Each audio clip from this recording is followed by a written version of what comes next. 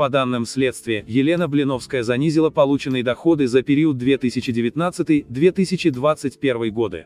В итоге блогер должна государству свыше 900 миллионов рублей.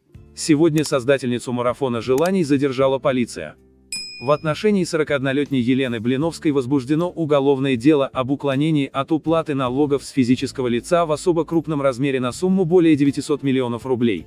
Сообщается, что в целях придания видимости правомерного владения, пользования и распоряжения полученными денежными средствами, звезда сети легализовала их путем совершения финансовых операций. Установлено, что Блиновская, получив доход от предпринимательской деятельности в сфере предоставления в СМИ, в том числе посредством сети интернет-услуг и реализации учебных курсов, тренинг-марафонов, не желая переходить на общую систему налогообложения целенаправленно и формально, раздробила бизнес, а также привлекла к реализации преступной схемы неустановленных лиц, говорится в сообщении Московской прокуратуры. Как утверждают правоохранители, у Елены были сообщники, которые помогли ей перечислить доходы от предпринимательской деятельности на расчетные счета подконтрольных 18 организаций и 3 ИП. Имена возможных соучастников выясняют. Что касается мужа королевы марафонов, то он на свободе. Алексей вместе с четырьмя детьми находится дома, где полиция проводит обыск.